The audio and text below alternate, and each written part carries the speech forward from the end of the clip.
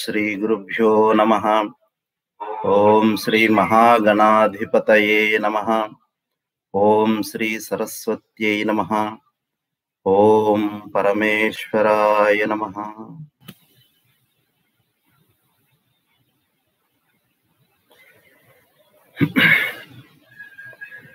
నిరాళంబోపనిషత్తు శుక్ల యజుర్వేద వేదానికి సంబంధించినటువంటి ఉపనిషత్తు. శుక్ల యజుర్వేదము అని అంటేనే దానికి ఒక ప్రత్యేకంగా ఆ శుక్ల అనే మాటను ఎందుకు చేర్చారు అనేటువంటి ఒక డౌట్ రావచ్చు. మామూలుగా ఋగ్వేదము యజుర్వేదము సామవేదము అధర్వణ వేదము ఈ నాలుగు వేదాలు ఉన్నాయి. నాలుగే. యజుర్వేదం దగ్గరికి వచ్చేసరికి శుక్ల యజుర్వేదము కృష్ణ యజుర్వేదము అని రెండు వేదాలు చెప్పటం జరిగింది. ఎందుకు ఇలా ఆ శుక్ల కృష్ణ అనేటువంటివి రెండు భాగాలుగా ఈ యజుర్వేదం చెప్పబడుతూ ఉంది? అంటే దానికి ఒక చిన్న కథ చెప్తారు. పూర్వం ఋషులందరూ కూడా మేరు పర్వత సానువుల్లో ఒక సమావేశాన్ని ఏర్పాటు చేసుకున్నారట. ఆ సమావేశానికి అందరూ ఋషీశ్వరులు అక్కడికి చేరాలని అక్కడికి ఎవరైతే రాలేరో రారో అలాంటి వాళ్ళకి బ్రహ్మహత్యా దోషం అంటుకుంటుందని ఒక నియమం ఏర్పాటు చేసుకున్నారట. అలాగా అందరూ ఒక ఒడంబడికను ఏర్పాటు చేసుకున్న వాళ్ళై ఫలానా రోజు పౌర్ణమి రోజు అక్కడ ఆ మేరు పర్వతం మీద మనం అందరము కూడా సమావేశం అవ్వాలి. ఎవరు రాలేదో వారికి బ్రహ్మహత్యా దోషం పట్టుకుంటుంది అని చెప్పారు. సరే అందరు కూడా ఆయా సమయానికి ఆ పర్వతం చేరుకున్నారు. అక్కడ ఒక బ్రహ్మ సదస్సు నిర్వచించ నిర్వహించటం జరిగింది. సరే ఏదో కారణం చేత వైసంపాయనుడు అక్కడికి చేరలేకపోయాడు. ఈయన ఎవరు వైసంపాయనుడు అంటే వ్యాస మహర్షి యొక్క ఒకనొక శిష్యుడు. నలుగురు శిష్యులు నలుగురు శిష్యులకి నాలుగు వేదాలు అప్పజెప్పాడు వ్యాస మహర్షి ఈ వైసంపాయనుడికి యజుర్వేదాన్ని ఇచ్చాడు. నీవు దీన్ని బాగా అధ్యయనం చేసి దీన్ని నీ శిష్యులు శిష్యులు శిష్యుల ద్వారా ప్రపంచంలో భక్తి చెయ్యమని ఆయన యొక్క ఆ సలహా మేరకు వైసంపాయనుడు ఆ పనే చేస్తూ ఉన్నాడు. సరే గురువు గారి ఆజ్ఞ ప్రకారం యజుర్వేదాన్ని శిష్యులకు బోధిస్తూ ఉన్నాడు. ఈ ఋషీశ్వరులందరూ పెట్టుకున్నటువంటి ఒడంబడికలో ఈయన ఆ మేరు పర్వతాన్ని ఆ సమయానికి చేరలేకపోయాడు. ఆయనకి ఏదో ఒక ఇబ్బంది కలిగింది. సరే. అక్కడికి రాలేదు కాబట్టి ఈయనకేమైంది? బ్రహ్మహత్యా దోషం వచ్చింది. ఇప్పుడు ఆ దోషం దాన్ని ఒక వేదన రూపంలో పీడిస్తూ ఉన్నప్పుడు దాని నుండి బయటపడాలనే ఉద్దేశంతో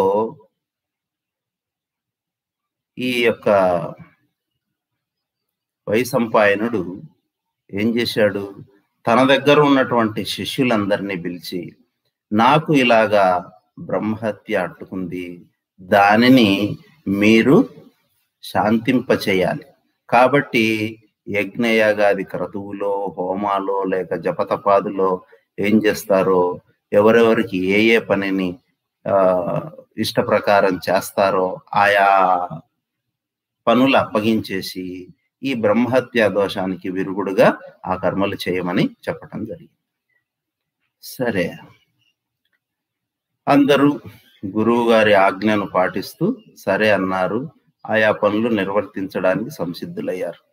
కానీ వాళ్ళల్లో ఒక శిష్యుడు ఉన్నాడు ఆయన పేరు యజ్ఞవల్కుడు. ఆయన ఏం చేశారు? వైసంపాయనుడి దగ్గరికి వచ్చి అయ్యా గురువు గారు వీరంతా కూడా తగిన సమర్థులు కారు. మీ యొక్క బ్రహ్మహత్య దోషాన్ని శమింపజేయడానికి కావలసినటువంటి సాధనలు చేసే అర్హత శక్తి సామర్థ్యం వారికి ఉందని నేను అనుకోను. నేను సమర్థుణ్ణి. మీకు ఆ దోషం పోయేలాగా ఏం చేయమంటారో చెప్తే నేను దాన్ని నిర్వర్తిస్తాను. నేను సమర్థవంతంగా ఈ కార్యక్రమాన్ని నిర్వర్తిస్తాను అని వైశంపాయనుడికి యజ్ఞవల్కుడు చెప్పటం జరిగింది. అప్పుడు వైశంపాయనుడు అనుకున్నాడు ఏమని ఇంతమంది శిష్యులు నా ఆజ్ఞను పాటిస్తూ వాళ్ళ పనులు వాళ్ళు చేస్తున్నారు. వీడు ఒక్కడు వచ్చి వీళ్ళంతా అసమర్థులు. నేను ఒక్కనే సమర్థుణ్ణి నేను చేస్తాను ఆ శాంతి ప్రక్రియ ఏదో అది నాకు చెప్పండి అని చెప్తున్నాడు కదా. ఇది అహంకారానికి ప్రతీక. ఈ అహంకారం ఇతనిలో ఉండకూడదు. నేనే చేయగలను మిగతా వాళ్ళు చేయలేరు అనేటువంటి ఒక విద్య అహంకారం అతనిలో కనపడతా ఉంది. అందుకని వైశంపాయనుడు అనుకున్నాడు. ఇతనికి ఆ గర్వం అనిగేలాగా చేయాలి అని. అప్పుడు చెప్పాడట గురువు అయ్యా యజ్ఞవల్క నువ్వు నా దగ్గర నేర్చుకున్నటువంటి విద్యకు ఫలితం కలగలేదు. ఏమిటి ఫలితం? విద్య నేర్చుకుంటే ఏం రావాలి? విద్యా దదాతి వినయం అన్నారు విద్య ఏమిస్తుందంటే వినయాన్ని ఇస్తుందట అలా వినయాన్ని నువ్వు ప్రదర్శించటంలే విద్య అయితే నేర్చుకున్నావు కానీ వినయం కనపడడం లేదు. వినయాన్ని విధేయతను అందివ్వని ఆ విద్య విద్యే కాదు. నా దగ్గరే ఇంత గర్వంగా మాట్లాడుతూ ఉన్నాం కాబట్టి విద్య వలన నీకు ఉపయోగం ఏమి కనపడడం లేదు. ఆ నేర్చుకున్న విద్యనంతా కక్కేసి నువ్వు వెళ్ళిపోవని చెప్పేశాడు. విద్యను కక్కటం ఏమిటి తిన్న అన్నాన్ని వాంతి చేసుకోవచ్చు. కక్కచ్చు. కానీ విద్యను ఎలా బయట వమనం చేయటం? అని అంటే నా విద్య నాకు అప్పచెప్పేసి వదిలేసి ఇంకా దాన్ని మర్చిపోను. అంతే కదా తిన్నాము. తిన్నది కడుపులో ఇమడలేదు. అప్పుడు ఏం చేస్తాం? కావాలని కూడా వమనం చేసుకుంటాం. అది బయటికి పోతే శాంతిస్తాం అలాగే నువ్వు నేర్చుకున్న విద్య నీకు జీర్ణం కాలేదు దాని ప్రభావం నీ మనసు మీద ఏమీ పడలేదు కాబట్టి దాన్ని వదిలేసి నా దగ్గర నేర్చుకున్న విద్య అంతా నువ్వు మర్చిపోతావు ఇంకా. అదే వమనం కదా? అలాగా విద్యను వదిలేసి నువ్వు వెళ్ళిపో నా దగ్గర పనికిరావు అని ఆయనను ఆజ్ఞాపించాడు.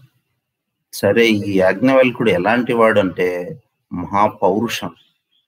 గురువు గారు నన్ను ఇలా అంటారా? వెళ్ళిపోమని చెప్తారా? పైగా తాను నేర్పిన విద్యనంతా మళ్ళీ వదిలేసేయమంటాడా?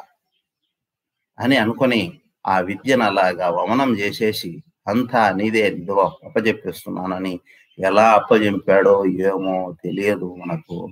ఆ విద్యలు కూడా అప్పుడు ఉన్నాయేమో.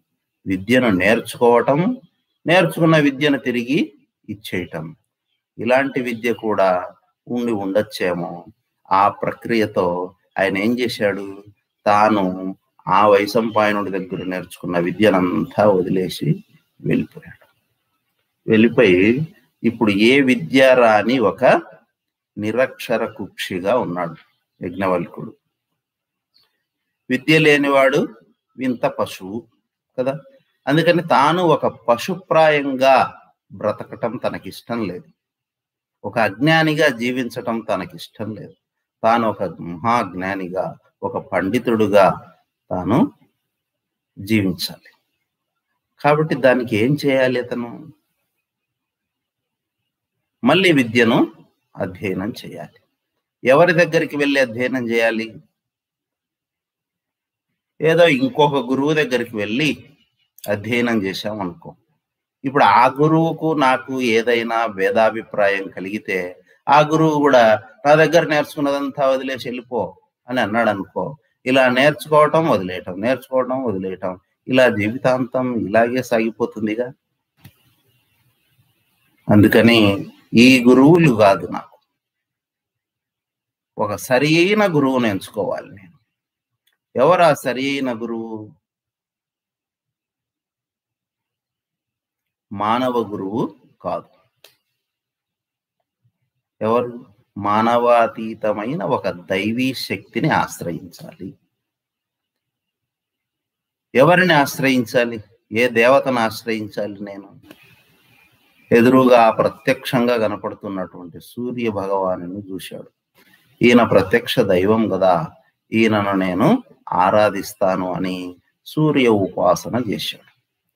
సూర్య ఉపాసన చేయటం ద్వారా సూర్య భగవానుడు ప్రత్యక్షమై అయా యజ్ఞవల్క ఏమిటి నీ కోరిక? అని అడిగాడు. స్వామి నాకు వేదాన్ని బోధించండి అని అడిగాడు.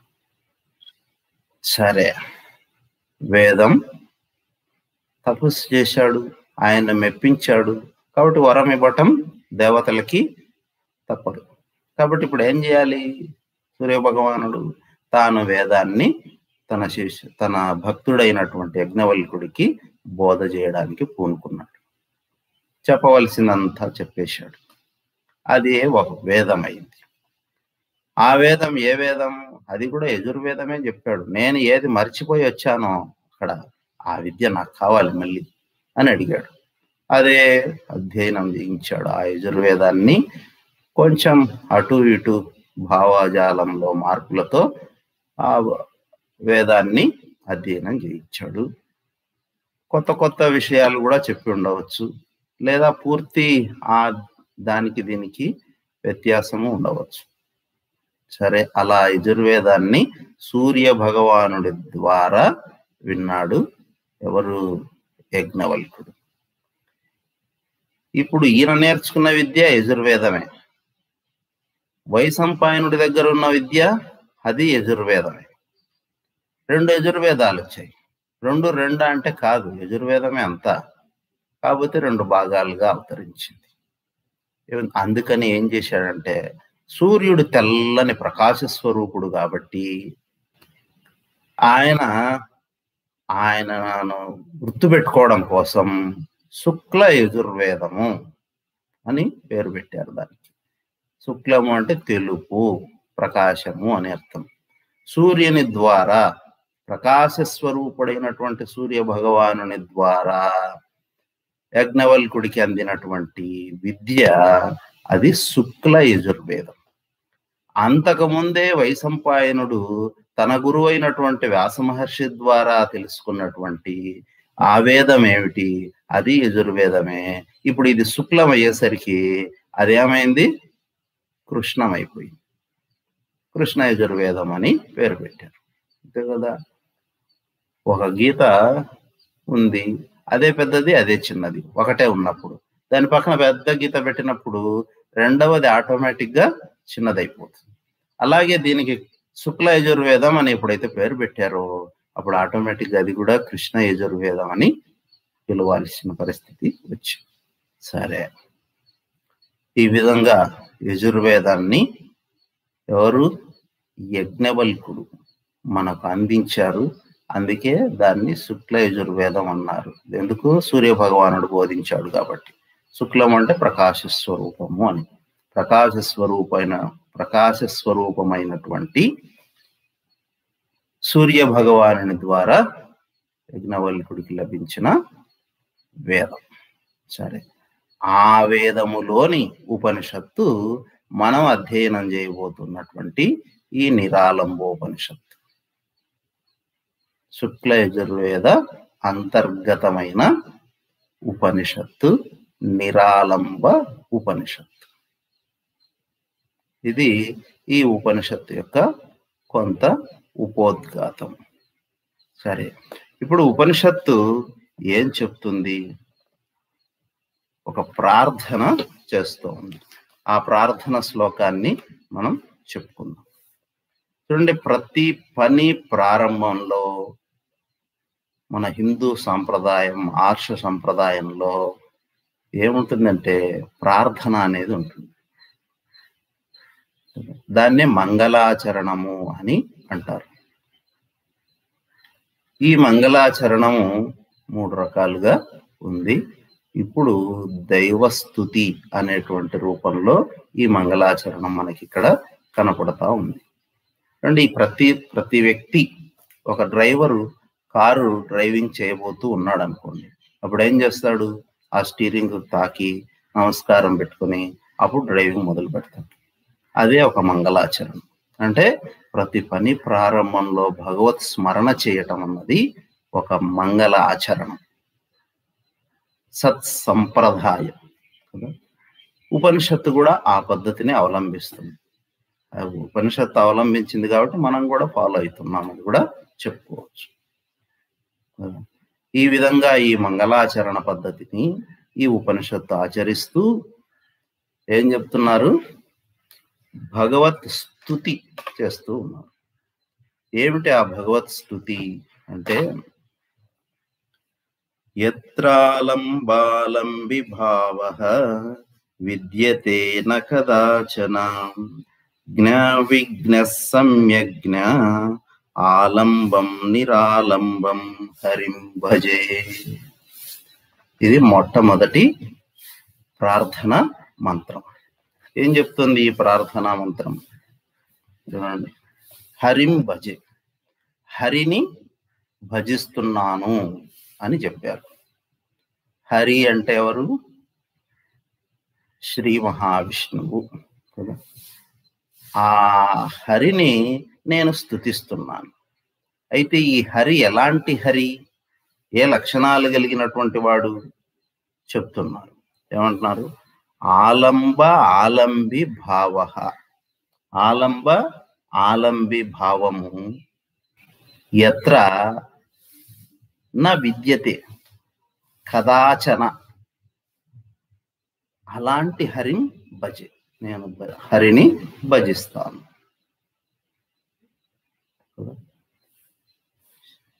ఆలంబ ఆలంబి భావము ఎక్కడైతే లేదో ఆ హరిని నేను స్థుతిస్తాను అని అంటున్నాను ఏమిటి? ఆలంబ ఆలంబి భావం భావము అంటే ఉండటము ఉనికి స్థుతి సారీ స్థితి. ఆలంబ అంటే ఆలంబనము. అంటే ఆశ్రయము లేదా ఆధారము అని అర్థం. ఆలంబి అంటే ఆధారపడేది ఆధేయము. ఆధారము ఆధేయము. సరే ఇప్పుడు ఈ శరీరం ఉంది. ఈ శరీరం తన పాటికి తాను స్వతంత్రంగా బ్రతకగలదా? ఇది ఒకదాన్ని ఆశ్రయిస్తుంది. దేన్ని? అన్నము. అన్నం తినకపోతే ఏమైపోతుంది శరీరం? శుష్కించి నీరసించి నశించిపోతుంది. కాబట్టి ఈ శరీరం అనేది తన ఉనికిని తాను కాపాడుకోవాలనంటే దేని మీద ఆధారపడుతుంది? అన్నము నీరు వాయువు వీటన్నిటి మీద ఆధారపడుతుంది. కాబట్టి అన్నము నీరు వాయువు ఆధారం అయితే శరీరం ఆధేయం అయిపోయింది అంతే కదా? ఇలాగా ఇప్పుడు మనం కూర్చోవాలి నిలబడాలి. ఏ ఆధారం మీద నిలబడగలుగుతున్నాం? భూమి. భూమి అనేది లేకపోతే మనం తినటం తిరగటం కదలటం ఇవన్నీ దేని మీద చేస్తాం? అది ఆధారంగా ఉంది కాబట్టి ఆ ఆధారం మీద మనం నడుస్తుంది ఒక రైలు పరిగెడుతూ ఉంటుంది. దేని సహా దేన్ని ఆశ్రయించి పరిగెడుతూ ఉంటుంది అది? ఆ పట్టాలు. పట్టాలే లేకపోతే రైలు యొక్క ప్రయాణం సాగుతుందా? సాగు కాబట్టి ఒకటి ఆశ్రయం ఆధారం. దాని మీద ఆధారపడి జీవనం సాగించేది ఆధేయము ఆధారాన్ని ఆలంబము అన్నారు ఇక్కడ. ఆధేయము ఆధారపడేది ఆలంబి అని చెప్పారు. తెలుగులో చెప్పుకుంటే ఆధారము ఆధేయం. ఆధారం అంటే తన పాటికి తానుంటూ ఇంకొక దాని మీద ఆధారపడకుండా ఉండేది ఆధారం. దాన్ని ఆశ్రయించి బ్రతుకుతూ ఉంటుంది చూసావా?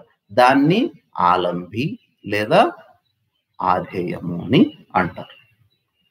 ఈ ఆధార ఆధేయాలు లేదా కార్య కారణాలు అలా కూడా చెప్పుకోవచ్చు. కారణం అది ఈ కార్యం కుండ ఉంది. ఈ కుండ తన పాటికి తాను కుండగా ఆవిర్భవించగలదా? లేదు మట్టి అనేది ఉండాలి. కాబట్టి కుండ అనే రూపానికి మట్టి అనే ఆశ్రయం ఉంటేనే ఆ రూపంలో అది వ్యక్తమైంది కదా? అలాగా? ఆధారం ఆధేయం కారణం కార్యం. ఇలా పేర్లు ఎన్నైనా చెప్పుకోవచ్చు. మట్టి ఆధారం కుండ ఆధేయం. మట్టి ఆలంబం కుండ ఆలంబి. కార్య కారణ రూపాలతో ఈ మొత్తం ప్రపంచం అంతా ఉంది. ఒక మామిడి పండు మనం చూస్తాం చేతిలో పట్టుకున్నాం. ఇది ఎక్కడి నుంచి వచ్చింది? ఇది ఒక పలానా చెట్టు. అంటే ఈ పండు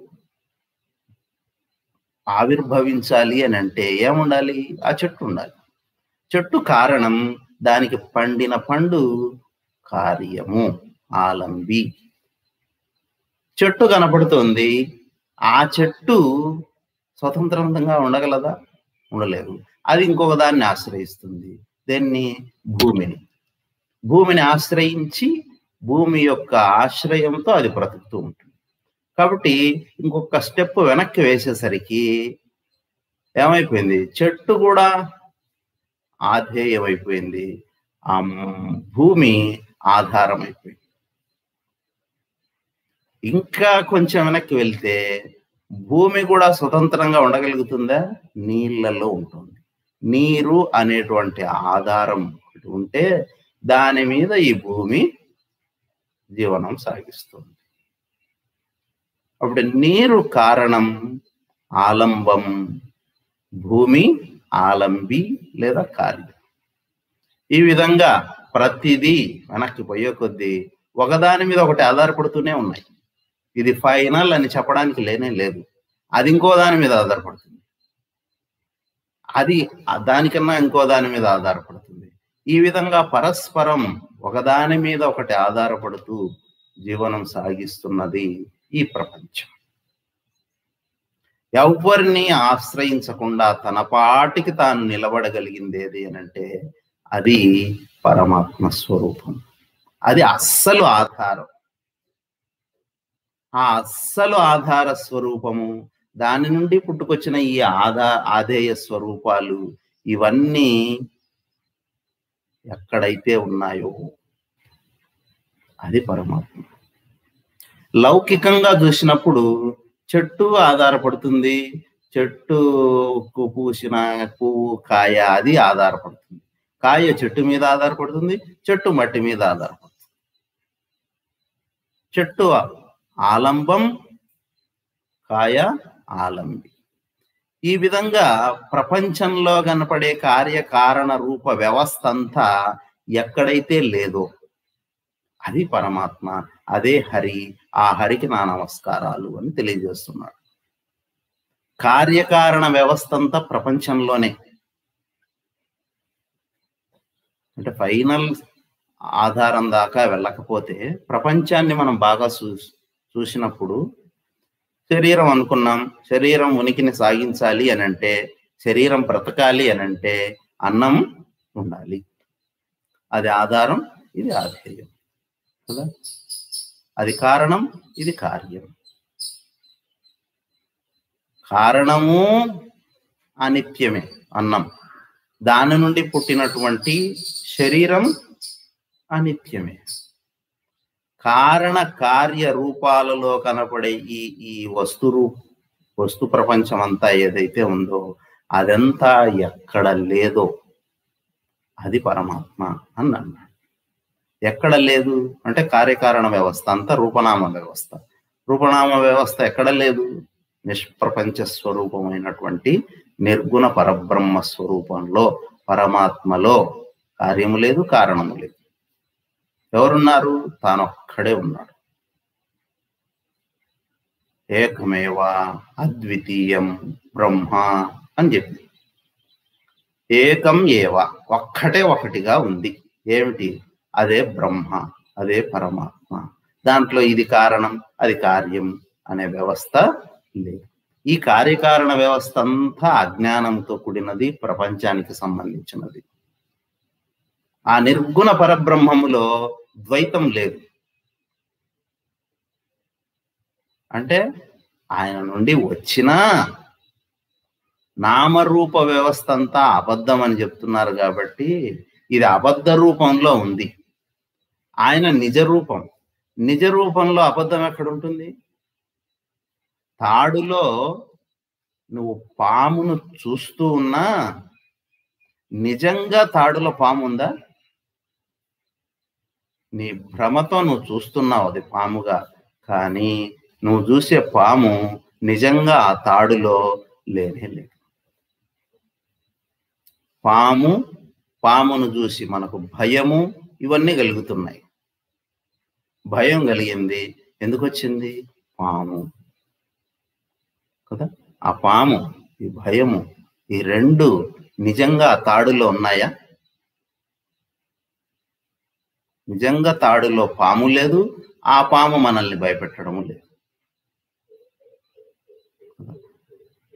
కానీ మనం చూస్తున్నాం ఆ విధంగా తాడుగా ఉంటే అది పాముగా చూస్తూ ఉన్నాం. ఇదంతా అజ్ఞానం. ఎక్కడైతే తాడు సారీ ఎక్కడైతే పాము పాము వలన కలిగే భయము లేవో అది అసలు తాడు. అంటే తాడులో నిజంగా పాము లేదు. నిజంగా ఆ పాము నుండి కలిగే భయము దాంట్లో మనకు లేదు. తాడు తాడుగానే ఉంది. నువ్వు చూస్తున్నావు భ్రమతో దాన్ని పాముగా. అలాగే పరమాత్మ పరమాత్మగానే ఉంటూ కార్యకారణ రూపంతో కనపడేటువంటి ఈ జగత్తుగా ఆవిర్భవించి కనపడుతూ ఉన్నాడు. కార్యరూపమైనటువంటి మామిడి పండుగాను దానికి కారణ రూపమైనటువంటి చెట్టుగాను ఈ విధంగా కార్యము కారణం. రెండు రూపంలో ఆయన వ్యక్తమైన అది అబద్ధపు రూపం కాబట్టి తన నిజ రూపంలో ఈ రెండు లేవు. ఇవన్నీ నామరూపాలే. ఇవి నామరూపమంతా అజ్ఞానంతో కూడినది. ఇది ఏ అసలు రూపంలో లేదో ఆ అసలు రూపమే హరి. అంటే ప్రపంచమంతా ఈ- వస్త్రం తయారైంది. ఇది ఏమిటి వస్త్రం? దేంతో తయారైంది? దారాలతో తయారైంది. దారాలు కారణం వస్త్రం కార్యం. కదా? కాబట్టి ఈ వస్తువు కనపడుతుందంటే దీంట్లో కారణము కార్యము రెండు ఉన్నాయి. కాబట్టి కనపడే ప్రపంచంలో అంతా కార్యకారణాలు ఉన్నాయి. కుండ కనపడుతుంది. దాంట్లో ఏముంది? కారణ రూపమైన మట్టి ఉంది. కార్యరూపమైన రూపము ఉంది. ఈ విధంగా కార్యకారణాలు ఎక్కడ లేవో అదే పరమాత్మ. అంటే రూపనామ వ్యవస్థ ఎక్కడ లేదో అదే పరమాత్మ. ఆ పరమాత్మ స్వరూపానికి నా నమస్కారాలు అని తెలియజేస్తూ ఉన్నా. అంతేకాకుండా ఇంకా ఎలాంటిదట? ఆ పరమాత్మ. జ్ఞ విజ్ఞ సమ్యజ్ఞ. ఆలంబం నిరాలంబం. ఎత్ర సమాశ్రిత్య తత్ హరిం భజే జ్ఞ విజ్ఞ సమ్యజ్ఞ మూడు మాటలు చెప్తోంది. జ్ఞ అంటే ఇంద్రియ జ్ఞానము. జ్ఞ అంటే జ్ఞానము అని అర్థం. జ్ఞ జ్ఞానము. విజ్ఞ విజ్ఞానము. సమ్యజ్ఞ సమ్య జ్ఞానము జ్ఞానము విజ్ఞానము సమ్యజ్ఞానం మూడు జ్ఞానాలు చెప్తూ ఉంది ఈ మూడు జ్ఞానాలు వాటిని ఏమిటి అర్థం ఎలా అర్థం చేసుకోవాలి మనం అంటే మామూలు మొట్టమొదటిగా చెప్పినటువంటి అజ్ఞ అనేది ఇంద్రియ జ్ఞానం. కన్నుతో ఈ వస్తువును చూశాను ఇది ఏమిటి? ఇది ఒక బల్ల. ఇది ఎలా ఉంది? గట్టిగా ఉంది. నాలుగు కాళ్ళతో ఉంది. ఈ విధంగా ఒక జ్ఞానం కలుగుతుంది. ఇది ఫలానా వస్తువు అని. ఇది ఫలానా వస్తువు అని నేను గుర్తిస్తున్నానే ఆ గుర్తింపు జ్ఞానం. ఆ జ్ఞానం దేని ద్వారా పొందుతున్నాను? ఈ కంటి ద్వారా ఇంద్రియము ద్వారా పొందుతున్నాను. కాబట్టి ఇది బల్లా అని తెలుసుకునే జ్ఞానం. ఏ జ్ఞానం అంటే ఇంద్రియజన్య జ్ఞానము. వీడు ఒక మనిషి. దేని ద్వారా చూశావు? నా కంటి ద్వారా చూశాను. ఆ కన్ను అనేది ఇంద్రియము. ఇంద్రియాల ద్వారా ఎదురుగా ఉన్న వస్తువులని గుర్తించి ఇది ఫలానా అది ఫలానా అది ఫలానా అని తెలుసుకునేటువంటి జ్ఞానాన్నే ఇక్కడ జ్ఞ అనే ఒక మాటతో సూచించారు. కాబట్టి జ్ఞ అంటే ఇంద్రియజన్య జ్ఞానము. ప్రపంచాన్ని అంతా మనం దేంతో చూస్తున్నాం? ఇంద్రియాలతోనే చూస్తూ ఉన్నాం. మన దగ్గర ఎన్ని ఇంద్రియాలు ఉన్నాయి ఐదు. అంటే పది ఇంద్రియాలు కదా అనుకోవచ్చు. కర్మేంద్రియాలు ఐదు జ్ఞానేంద్రియాలు ఐదు అని. కర్మేంద్రియాలు కర్మ చేయటమే. వాటికి తెలుసుకునే శక్తి లేదు. తెలుసుకునే శక్తి దేనికి ఉంది అని అంటే జ్ఞానేంద్రియాలకు ఉంది. కాబట్టి ప్రపంచాన్ని తెలుసుకోవాలి అని అన్నప్పుడు మనం ఉపయోగించే ఇంద్రియాలు ఎన్ని ఉన్నాయి మన దగ్గర? ఐదే ఐదు. కన్ను చెవి ముక్కు నోరు నాలుక చర్మము ఇదంతా. ఈ ఐదు జ్ఞానేంద్రియాలు అని అంటారు. ఈ ఐదు జ్ఞానేంద్రియాలే ఎందుకు పెట్టాడు మనకు దేవుడు? జ్ఞానేంద్రియాలు కూడా ఒక పదో ఇరవై పెట్టచ్చు కదా. అని అంటే బయట ఉన్న విషయాలు ఐదే కాబట్టి. ఏమిటి? శబ్ద స్పర్శ రూప రస గంధ. అంటే ఏమిటి? పంచభూతాలు ఉన్నాయి కదా? భూమి నీరు అగ్ని వాయువు ఆకాశం. ఐదే ఐదు భూతాలు ఉన్నాయి. ఆ ఐదు భూతాల యొక్క లక్షణాలు ఏమిటి అని అంటే శబ్దం. ఆకాశం యొక్క లక్షణం శబ్దం. వాయువు యొక్క లక్షణం ఏమిటి? స్పర్శ. అగ్ని యొక్క స్థితి లక్షణం ఏమిటి? రూపం. ఈ విధంగా ఐదు ఇంద్రియాలకు ఐదు విషయాలు ఉన్నాయి. ఆ ఐదు విషయాలు తెలుసుకోవడానికి మన దగ్గర ఐదు జ్ఞానేంద్రియాలు ఉన్నాయి. చాలు. అక్కడ ఐదు ఉన్నాయి. ఐదు తెలుసుకోవడానికి ఐదు జ్ఞానేంద్రియాలు. కాబట్టి ఐదే కాబట్టి ఆ ఐదే అన్ని రూపాలు దాల్చాయి కాబట్టి ఈ అన్ని రూపాల్లో కనపడుతున్న ప్రపంచాన్ని మన దగ్గర ఉన్న ఈ ఐదు జ్ఞానేంద్రియాలు తెలుసుకుంటూ ఉన్నాయి. కాబట్టి ఈ ఐదు ఇంద్రియాల ద్వారా బయట ప్రపంచంలో ఉన్న వస్తువుల యొక్క విషయాలను మనం తెలుసుకొని ఇది ఫలానా ఇది ఫలానా అని గుర్తిస్తున్నామే. ఆ జ్ఞానం ఏమిటంటే ఇంద్రియజన్య జ్ఞానము. అదే ఇక్కడ చెప్పినటువంటి మాట ఏమిటంటే సింపుల్గా జ్ఞా అని అన్నాడు. రెండవది విజ్ఞ. అంటే విజ్ఞానము. విజ్ఞానం అంటే శాస్త్రజన్య జ్ఞానము. కొన్ని మన ఇంద్రియాలకు కూడా దొరకవు. స్వర్గం ఉంది అని అంటారు. ఏ కన్నుకు దొరుకుతుంది అది? కన్ను కనపడుతుందా? చెవికి వినపడుతుందా? అక్కడ ఇంద్రుడు ఉంటాడు. ఆయన ఆ సింహాసనం మీద కూర్చొని ఆ రంభ ఊర్వశి మేనకలందరూ కూడా నృత్య ప్రదర్శన చేస్తూ ఉంటే చూస్తూ హాయిగా ఆనందంగా గడుపుతూ ఉంటాడు. అక్కడ ఉన్న దేవతలందరూ కూడా ఆనందంగా హాయిగా ఉంటారు. అది ఒక స్వర్గం సుఖం ఆనందం అని చెప్తూ ఉంటుంది శాస్త్రం. అది మన ఇంద్రియాల ద్వారా చూసి చెప్పామా? ఎవడైనా చూశాడా? కంటి కనపడుతుంది ఆ స్వర్గం? కనపడదు. కదా? కాబట్టి కంటికి కనపడని మన జ్ఞానేంద్రియాలకు అందని ఒక అలౌకికమైన విషయాన్ని తెలియజేసేటువంటిది ఏమిటి? శాస్త్రం. మహాత్ములు ఋషులు యోగద్రష్టలై ఏం చేశారు? ఇంద్రియాతీతమైన విషయాలను బుద్ధి ద్వారా గ్రహించారు. అలా శాస్త్రాల ద్వారా మనం తెలుసుకునే జ్ఞానం విజ్ఞానం. ఇక్కడ ఈ తప్పు చేశావంటే ఈ పాపం చేశావంటే నువ్వు నరకంలో వెళ్ళి అక్కడ యముడి దగ్గర ఇదిగో ఈ శిక్షలు అనుభవిస్తావు. ఏమిటి? ఇదిగో ఆ, ఫలానా తప్పు చేస్తే నేను బాగా మసలిపోతున్నటువంటి ఉడికిపోతున్నటువంటి నూనెలో ముంచేస్తారు. బజ్జీల్లాగా వేయించేస్తారు. ఆ వేయించినటువంటి ఆ నిన్ను తీసి ఆ నరకంలో పడేస్తారు. ఎక్కడ ఆ నరమాంసం తినే వాళ్ళు ఎవరో ఉంటారు అక్కడ. వాళ్ళంతా నిన్ను వేపుకొని తింటారు. కొరడాలతో కొడతారు. ఇవన్నీ ఎక్కడ నరకంలో. ఎవరు చూశారు? ఎవ్వడు చూసిన ఇప్పుడు ఇప్పుడు ఇప్పుడు భూమి మీద ఉన్నటువంటి ఏ మానవుని పట్టుకొని అడిగినా రే నువ్వు నరకం చూసి వచ్చావా? ఏ నాకు తెలియదు కొన్ని స్వర్గం చూసావా నేను చూడలేదు. అంటాడు.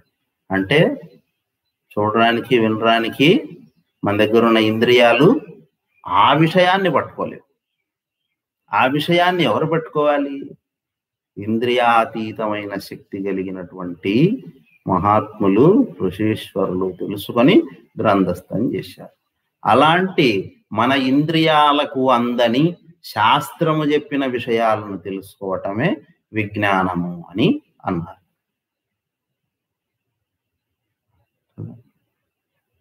సరే మూడవది సమ్యక్ జ్ఞానం. సమ్యక్ జ్ఞానం అంటే ఆత్మజ్ఞానము. స్వరూప జ్ఞానము నేనంటే ఎవరు? నేను ఫలానా? దేనికి సంబంధించి చెప్పుకుంటాం? శరీరాన్ని చూసి ఇదిగో ఇది ఫలానా తల్లిదండ్రులకు పుట్టాను ఫలానా ఊరి వాడిని ఫలానా నామధేయం నాది నేను ఫలానా చదువు చదివాను నా ఆస్తి ఇంత ఇవన్నీ చెప్పుకుంటాం. ఇవన్నీ దేన్ని బేస్ చేసుకొని ఉన్నాయి? ఈ శరీరాన్ని ఆశ్రయించి ఉన్నాయి. కాబట్టి నేను అంటే శరీరంతో పరిమితమైనటువంటి వాడిగా చెప్పుకుంటాం. అది సరైనది కాదు అని నిన్న మనం నిర్ధారణ చేసుకున్నాం. ఇప్పుడు అది అబద్ధపు జ్ఞానం అని కూడా చెప్పుకున్నాం. కాబట్టి అలా కాకుండా సమ్యజ్ఞ అంటే సరి అయిన జ్ఞానము అని అర్థం. సరి అయిన జ్ఞానం ఏమిటి? అహం బ్రహ్మాస్మి అని అనుకోవటం. నేను సచ్చిదానంద పరబ్రహ్మ స్వరూపాన్ని అని తెలుసుకోవటం.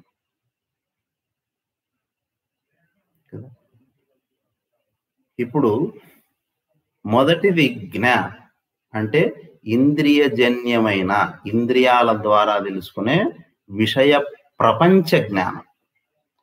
రెండవది విజ్ఞ అంటే శాస్త్ర జ్ఞానం ప్రపంచానికి అతీతంగా మన ఇంద్రియాలకు అంతుజిక్కని విషయాలను తెలుసుకునేటువంటి శాస్త్ర జ్ఞానం ఏదైతే ఉందో అది విజ్ఞానం. మూడవది సమ్య జ్ఞానం అంటే సరైన జ్ఞానం. అంటే అహం బ్రహ్మాస్మి అని అనే జ్ఞానం. ఈ జ్ఞానము ఇదంతా కూడా ఏమిటట ఎవరిని ఆశ్రయించి ఉందో అలాంటి హరిని నేను ప్రార్థిస్తున్నాను అన్నాడు. సమ్యక్ జ్ఞాన స్వరూపుడు ఆ హరి. అంటే మనలో అహం బ్రహ్మాస్మి అనే అనేటువంటి జ్ఞాన స్వరూపం ఎవరు? హరిం అని చెప్పేటువంటి ఆ భగవానుడే. అంటే ఆయన జ్ఞాన స్వరూపుడే. ఆ జ్ఞానం సమ్య జ్ఞానము ఆయన నిజస్వరూపం. శాస్త్ర జ్ఞానము ఎక్కడి నుంచి వచ్చింది? ఆయన నుండే వచ్చింది. ఇంద్రియజన్య జ్ఞానము ఈ కన్ను ద్వారా ఇది ఫలానా వస్తువు అని తెలుసుకుంటున్నానంటే ఆ గుర్తింపు అయినా సరే ఈ చర్మానికి ఈ కన్నుకు ఎక్కడి నుంచి వచ్చింది? కన్ను ఏమిటి? ఒక మాంసపు ముద్ద. దానికి ఇది ఫలానా రూపంలో ఉంది ఇది ఫలానా రూపంలో ఉంది అని గుర్తించగలిగినటువంటి శక్తి ఆ గుర్తింపు ఆ ఎరుక అక్కడి నుంచి వచ్చింది ఆ ఇంద్రియానికి. కాబట్టి ఇంద్రియానికి వెనక ఉన్న ఆ జ్ఞానము శాస్త్రాలలో చెప్పబడినటువంటి విజ్ఞానము స్వరూప జ్ఞానము అంతా ఆయన యొక్క స్వరూపమే. అలాంటి హరి ఆ ఆ జ్ఞానాన్ని ఏమని పేరు పెట్టారు ఇక్కడ? హరి హరి అని పేరు పెట్టారు. ఆ హరికి నా నమస్కారాలు. ఆయన ఎలాంటి వాడు అని అంటే హరి అని అంటానే చతుర్భుజాలు కలిగినటువంటి వాడు శంఖ చక్ర గదాది ఆయుధాలు ధరించినటువంటి వాడు అని మనం అనుకుంటాం. అంతే హరి అని. కాదు కాదు ఆయనకు రెండు రూపాలు ఉన్నాయట ఏమిటి? ఆలంబం నిరాలంబం. ఈ రెండు రూపాలలో భాషించేటువంటి వాడు హరి. ఆలంబం అంటే ఆశ్రయము కలిగి ఉండటము అంటే రూపనామాలతో వ్యక్తమై కనపడటము. ఈ ప్రపంచం అంతా ఆలంబం. ఇంకో దాని మీద ఇంకో దాని మీద ఆధారపడుతూనే ఉంటుంది. ఇదంతా రూపనామ వ్యవస్థ. ఇలా రూపనామాలతో కనపడేటువంటి ఈ ప్రపంచము నిరాలంబం. ఏ ఆలంబము ఏ ఆశ్రయము అవసరం లేకుండా తన పాటికి తానుగా ఉండే సచ్చిదానంద స్వరూపము. ఈ రెండు ఎవరిలో నిగూఢంగా ఉంటాయో ఆ హరి ఆ భగవాను నేను స్థుతిస్తున్నాను అని అన్నాడు. అంటే నామరూప వ్యవస్థతో కనపడే ఈ ప్రపంచము ఆయన స్వరూపమే. నిర్గుణ నిరాకార సచ్చిదానంద పరబ్రహ్మ స్వరూపంగా వ్యక్తమయ్యేటువంటి జ్ఞానము ఆయన స్వరూపమే. అలాంటి ఆలంబ నిరాలంబ ఆశ్రయ నిరాశ్రయ కారణ కార్య ఆధార ఆధేయ రెండు రూపాలలో వ్యక్తమవుతున్నటువంటి వాడు ఈ రెండు రూపాలకు అతీతంగా నిర్గుణంగా ఉన్నటువంటి వాడు ఏ మహానుభావుడైతే ఉన్నాడో ఏ జ్ఞానం అయితే ఉందో అలాంటి హరిస్వరూపుడికి నా నమస్కారాలు అని తెలియజేశాడు ఈ ఉపనిషత్కర్త. ఇది ప్రార్థన శ్లోకం. హరి. చూడండి హరి అని అంటే శ్రీ మహావిష్ణువు అని ఆ అనంతుడు శయనుడై ఉంటాడని సముద్రంలో పడుకొని ఉంటాడని ఈ విధంగా మనం ఊహిస్తూ ఉంటాం. కానీ ఇక్కడ ఆ లక్షణాలు ఏమి చెప్పలేదు. ఏం చెప్పాడు? ఇంద్రియాలలో వ్యక్తమయ్యే జ్ఞానము బుద్ధిలో వ్యక్తమయ్యే శాస్త్ర జ్ఞానము అనుభవంలో వ్యక్తమయ్యే ఆత్మజ్ఞానము ఇదంతా ఎవరి స్వరూపమో ఆ అసలు జ్ఞాన స్వరూపం ఎవరో ఆ హరికి నా నమస్కారాలు. ఆయనే సాలంబంగా ప్రపంచంగా కనపడుతున్నాడు. ఆయనే ప్రపంచానికి అతీతమైన నిర్గుణ పరబ్రహ్మంగా కూడా కనపడుతూ ఉన్నాడు. అలాంటి ఆలంబ నిరాలంబ స్వరూపుడైనటువంటి పరమాత్మ ఎవరైతే ఉన్నారో అలాంటి వాడికి నా నమస్కారం. ఈ ఆలంబ నిరాలంబములుగా ఉన్నటువంటి కార్యకారణ రూపంలో ఉన్నటువంటి వాడుగా ఉన్నది ఆయనే. దీనికి అతీతంగా అతీతంగా అందుకే మొట్టమొదట చెప్పారు ఎత్ర న విద్యతే కదాచన. ఎప్పుడు కూడా ఆయనలో ఈ నామరూప వ్యవస్థ లేదో అంటే నామరూపాలు నిజంగా ఆయనకు లేవు. ఆయనలో వ్యక్తమవుతాయి కుండ అనే రూపం నిజంగా మట్టికి పరిమితం శాశ్వతం కాదు. ఒకనొక సమయంలో వ్యక్తమైంది. ఆ పగిలిపోయింది అనుకోకుండా ఏమైంది ఆ రూపం అంతా? పోయింది. రూపం వచ్చింది పోయింది. ఉండేది మాత్రం మట్టి మట్టే. ఎప్పటికీ అది మట్టిగానే ఉంటుంది. రూపం కుండ అనేది వచ్చింది. కొంతకాలం ఉండింది. మట్టి యొక్క జీవన కాలంలో ఈ కుండ అనే ఆ రూపం ఎన్ని రోజులో ఎన్ని గంటలో చెప్పలేం. కాబట్టి అది అల్పం. కాబట్టి ఆయన అసలు రూపం ఏమిటంటే నిర్గుణ పరబ్రహ్మ స్వరూపం. ఆయన నుండి వ్యక్తమయ్యే రూపనామాలు ఏమిటనంటే ఇదిగో ఈ ప్రపంచం ప్రపంచంలో ఉన్నాయి శరీరాలు ఇవన్నీ. ఇలా శరీరాల రూపంలో శరీరాలకు అతీతంగా శరీరంలోనే ఉన్నటువంటి జ్ఞాన స్వరూపంగా ఉన్నటువంటి ఆ పరమాత్మ ఎవరైతే ఉన్నారో ఆ హరికి నమస్కారాలు. ఇంద్రియాలలో వ్యక్తమయ్యే జ్ఞానం శాస్త్రంలో వ్యక్తమయ్యే జ్ఞానం అనుభవంలో వ్యక్తమయ్యే జ్ఞానం ఎవరి స్వరూపంగా ఉందో ఆ హరికి నా నమస్కారాలు అని తెలియజేసి మొదటి శాంతి పాఠం చెప్పేశారు. తర్వాత ఇంకో శాంతి పాఠం కూడా ఉంది. అది శివుణ్ణి ముఖ్యంగా పెట్టుకొని చెప్పినటువంటి ప్రార్థన. అదేమిటో రేపు మనం చూద్దాం. ఓం శాంతి శాంతి శాంతి హరి ఓం. శ్రీ గురుభ్యో నమ. హరి ఓం.